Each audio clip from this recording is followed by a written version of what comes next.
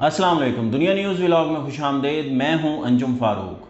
वैसे तो गुज्त दो सालों से इमरान खान की सियासत और पी टी आई के जो हालात हैं, वो नागुफ्ता बे हैं, दिगर गु हैं, भंवर के अंदर हैं।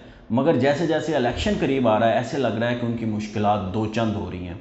आज बल्ले का निशान एक बार फिर उनसे वापस ले लिया गया है।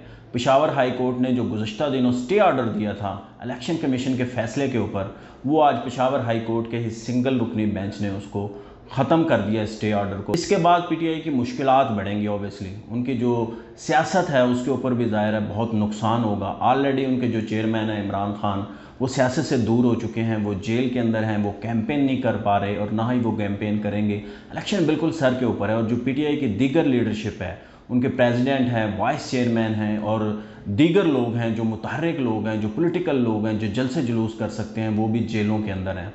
और जो पॉलिटिकल लोग बाहर भी हैं, जैसे अली मोहम्मद ख़ान है, उनके पास मैंडेट नहीं है। इस वक्त सारा मैंडेट वकला के पास है और वकला जो है ना, अदालतों के अंदर जंग लड़ रहे हैं। अब ये जो पीटीआई का इंतबी निशान, जो इंतबी सिंबल है, बल्ला, उससे छिन जाने से पीटीआई को नुकसान क्या होगा? और जो पीटीआई के पास इस वक्त ऑप्शन क्या है? इसके दो पहलू हैं। एक तो कानूनी पहलू है और एक अखलाकी पहलू है। अखलाकी पहलू तो ये है कि ये फ़ैसला जो है ना पीटीआई के हक़ में नहीं है, ये इस तरह नहीं आना चाहिए था। पीटीआई ऑलरेडी दुहाई कर रही है कि उन्हें लेवल प्लेइंग फ़ील्ड नहीं दिया जा रहा। वो ऑलरेडी कह रहे हैं उन्हें जल से जुलूस करने की, रैलियाँ निकालने की इजाज़त नहीं है। उनके लोग जो है ना, वो गली मोहल्लों के अंदर नहीं जा पा रहे। गिरफ्तारियाँ हो रही हैं। एम के तहत गिरफ्तारियाँ हो रही हैं। और जो दिगर लोग हैं जिन्होंने कागजात नामजदगी जमा कराए हैं और कुछ लोग करवा भी नहीं सके, उनका बहुत वावेला किया गया। खैर, वो बाद में गलत साबित हुआ। मगर जिन्होंने कागजात नामजदगी जमा भी कराए हैं, उनके जो है ना, सैकड़ों की तादाद के अंदर मुस्तरद कर दिए गए अब वो ज़ाहिर है, अदालतों के अंदर जा रहे हैं और वो अपने जो है ना, मुस्तरद जो हो रही थी, उनकी दरख्वास्तें हुई थी, उनके ऊपर ज़ाहिर है, अब फैसले होंगे। कुछ होना शुरू भी हो गए मियाँ वाली के अंदर, ट्रिब्यूनल के अंदर जो फैसला दिया और उमैर न्याजी के कागजात मंजूर कर लिए कुछ बेहतरी आई जा रही है। मगर जो हालात हैं, जिस तरह से उनको कहा जा रहा था कि पीटीआई को बिल्कुल कॉर्नर कर दिया गया है पीटीआई कुछ नहीं कैंपेन कर पा रही, उनकी पॉपुलैरिटी ज़रूर है ग्राउंड के अंदर, मगर उनके पास अफेक्टिव जो कैंडिडेट हैं, वो नज़र नहीं आ रहे, जो लोगों को जाके मुतहरक कर सकें, जो लोगों को मोबलाइज कर सकें, जो लोगों को कह सकें कि आप इलेक्शन डे वाले दिन ज़रूर निकलें, अपने घरों से निकलें, अपने कंफर्ट जोन से निकलें और निकल के पोलिंग स्टेशन तक आएँ और वोट डालें। वो लोग नज़र नहीं आ रहे हैं मैदान के ऊपर तो ये इसका नुकसान है। तो इस सारी सिचुएशन में अगर बल्ले का निशान भी छिन गया तो यकीनन सूरत हाल उनके लिए बहुत मुश्किल हो जाएगी। जो पीटीआई का वोटर है, उसको अभाम होगा। हर हलके में आप नहीं बता सकते कि आप कैसे कर, कौन सा कैंडिडेट है, कौन सा नहीं होगा। क्योंकि ऑब्वियसली सारे कैंडिडेट अगर ये बल्ले का निशान उनको नहीं मिलता, सुप्रीम कोर्ट से नहीं मिलता तो ऑब्वियसली ये फिर उनके लिए मुश्किल होंगी और फिर वो सारे आज़ाद उम्मीदवार तस्वर होंगे और सबको अलग अलग निशान मिलेंगे। तो इससे मुश्किल हो जाएँगी। और दूसरा कानूनी पहलू है। कानूनी पहलू बादियों नज़र के अंदर ऐसा लग रहा है कि ये पेशावर हाई कोर्ट का जो आज फैसला है, ये बिल्कुल ठीक है। क्योंकि जो गुजशत फैसला था, वो भी सिंकल रुकनी, जो बेंच था, उसने दिया था। उसके अंदर इलेक्शन कमीशन को नहीं सुना गया था। सुप्रीम कोर्ट का फैसला मौजूद है। गुजशत दिनों भी सुप्रीम कोर्ट ने कहा है। काजी फायजी से सामने कहा है कि आप कैसे मुखालफ, जो जो लोग हैं, उनके वकील को सुने बगैर, उनके मुखालफ फरीक को सुने बगैर आप कैसे फ़ैसला दे सकते हैं? तो इसी तरह का फ़ैसला एक पेशावर हाई कोर्ट ने एक और किया था। आर को मअतल किया था। उसके ऊपर भी सुप्रीम कोर्ट ने खूब ले दे की और उन्होंने कहा कि आप गैर सुने किसी भी फ्रीक को, दूसरे फ्रीक को आप जो है ना ऑर्डर पास नहीं कर सकते। ये इलेक्शन को रोकने की साजिश हो रही है, इसको सुप्रीम कोर्ट किसी सूरत वो नहीं बनेगी। कानूनी पहलू यही है कि ये फैसला बिल्कुल ठीक है। और क्योंकि पीटीआई के इलेक्शन हुए ही नहीं है 2021 से बाद से अब उन्होंने खाना पूरी की है। पहले इलेक्शन हुए थे, वो काला दम हो गए, अब जो इलेक्शन किए गए और इलेक्शन कमीशन के ऊपर कहने किए गए तो 20 दिनों का टाइम दिया गया था, उन्होंने इलेक्शन कराए और वो इलेक्शन भी खाना पूरी थे। इमरान खान साहब ने गोहर खान साहब को नॉमिनेट किया। और उसके बाद आपने देखा कि ना कोई लिस्टें सामने आई, ना कोई कैंडिडेट सामने आए, ना किसी उम्मीदवारों को कागज़ दिए गए। जो लोग कागज़ लेना भी चाहते थे, उनको कागजात नहीं दिए गए और ना कोई इलेक्शन हुआ, ना वोटिंग हुई और ना कोई अनाउंसमेंट हुई, बिला मुकाबला ही सारे हो गए। तो जो कानून कहता है, वो आज बाकी पार्टियाँ भी इसी तरह ही करती होंगी। पीपल पार्टी में भी ऐसे ही होता है नून लीग में भी ऐसे होता है जे यू आई में भी ऐसे होता है एएनपी में भी ऐसे होता है एम में भी ऐसे होता है। जमात इस्लामी के अलावा सारी जगह इसी तरह के इलेक्शन होते हैं फेक इलेक्शन होते हैं। मगर जो कानूनी तकाजे हैं। जब आप फंसे होते हैं, जब आपके घेरा तंग किया जा रहा है तो आपको कानूनी तकाजे पूरे करने होते हैं। तो उन्होंने कानूनी तकाजे पूरे नहीं किए। दूसरा जब इलेक्शन कमीशन का फैसला कलादम किया, उसको मअतल किया और जो स्टे ऑर्डर दिया और बल्ले का निशान बहाल के उन्होंने दूसरे फरीक को नहीं सुना। तो इसलिए ये जो है ना, कानूनी तौर पे जो है ना, ये फ़ैसला बिल्कुल ठीक लगता है। अब आगे गौहर खान साहब आए, मीडिया के सामने उन्होंने कहा कि अगर इलेक्शन कमीशन हमसे ये छीन भी ले बल्ले का निशान, हम बाइकआउट नहीं करेंगे, हम इलेक्शन लड़ेंगे, हमारे सारे कैंडिडेट आज़ाद खड़े होंगे और हम जीतेंगे। उन्होंने ये बड़ा अच्छा जेस्चर है।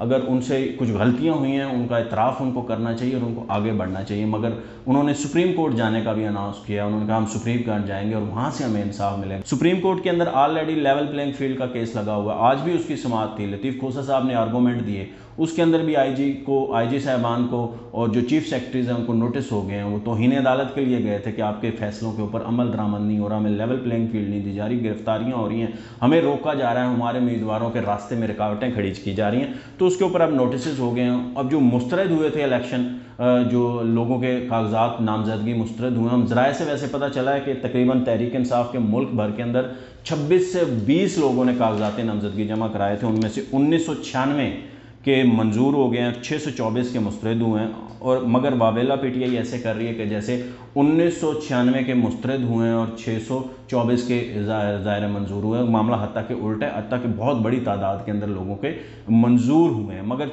मसला ये है कि उनकी लीडरशिप के मुस्तरद हो गए हैं। जो अहम लोग हैं, उनके मुस्तरद हो गए हैं। अगर वो दो तीन सौ भी बीच में हैं तो ज़ाहिर है उससे ज़्यादा हालात डिफरेंट हो जाएँगे। इमरान खान के हुए हैं, शाह महमूद कुरैशी के हुए हैं, परवेज़ इलाई के हुए हैं, मोनस इलाई के हुए हैं मुबराज सईद के हुए हैं। और दीगर जितनी उनकी अमली अमीन गंडापुर हैं और दीगर लीडरशिप है, उनके सब के कागजात नामजदगी जो है ना मुस्तरद हो गए हैं।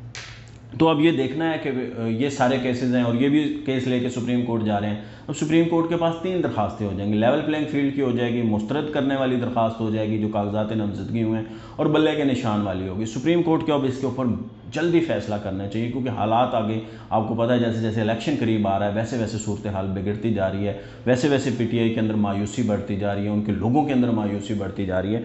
तो अब अगले दो चार रोज़ के अंदर ये जो है ना, अब हम ख़त्म होने जाना चाहिए, सूरत हाल एक तरफ़ हो जानी चाहिए, ताकि उनको लेवल प्लेइंग फ़ील्ड मिल सके, उनके पास बल्ले का निशान है तो वो अपनी स्ट्रेटजी बना सकें, अगर बल्ले का निशान नहीं है तो वो काउंटर स्ट्रेटजी बना सकें, ताकि उनके उम्मीदवारों को पता हो और वो अपने लोगों को जाके बता सकें वोटर्स को बता सकें, उनको कन्विंस कर सकें कि आपने किसके ऊपर निशान लगाना है।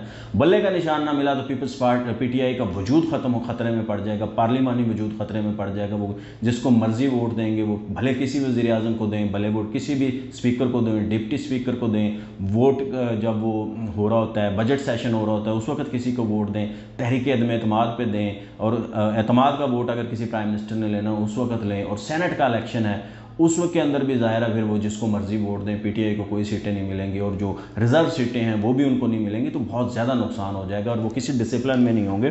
तो इसलिए ये ज़रूरी है कि उनको बल्ले का निशान मिल जाए तो पी को ताकि वो सूरत हाल जो है ना, उनकी जो है ना ख़राब होती सूरत हाल वो ना हो, मज़ीद ख़राब ना हो और उनको लेवल प्लेइंग फ़ील्ड मिल जाए। मेरी गुजशत दिनों एतजाज़ एहसन साहब से बात हुई, इसी इशू पर बात हुई, उन्होंने भी कंडेम किया, उन्होंने कहा कि ये नहीं होना चाहिए तो बल्ले का निशान उनका, पीटीआई का बल्ले का निशान नहीं है। ये आवाम का सिंबल है और ये आवाम को मिलना चाहिए। और अगर आवाम से आप लाखों लोगों से पीटीआई का जो बल्ले का निशान है, जो सिंबल है, जिसको वो वोटर है, जो देना चाहता है, करोड़ों लोग अगर पीटीआई को वोट देना चाहते हैं तो आप उनको हक से महरूम नहीं कर सकते। ये बुनियादी इंसानी हकूक़ का मसला है, इसलिए उनको कहा कि उन्होंने पेशावर हाई कोर्ट नहीं जाना चाहिए, उनको डायरेक्ट सुप्रीम कोर्ट उस वक्त जाना चाहिए। और अगर उस वक्त वो सुप्रीम कोर्ट चले जाते और पेशावर हाई कोर्ट में इतना टाइम ज़ाया ना होता तो आज यकीन वो उनकी जो भाम की सूरत हाल है वो ठीक हो जाती। पी टी आई वो आपको याद होगा सुप्रीम कोर्ट के अंदर पिछले दिनों भी इसके ऊपर बात हुई थी। बल्ले के निशान के ऊपर बात हुई तो, तो काफ़ी जो है ना उसके ऊपर तनकीद सामने आई थी। सुप्रीम कोर्ट ने भी तनकीद की थी कि आप एक पार्टी का सिम्बल ले लेते हैं तो उसके पास पीछे कर बच किया जाता है।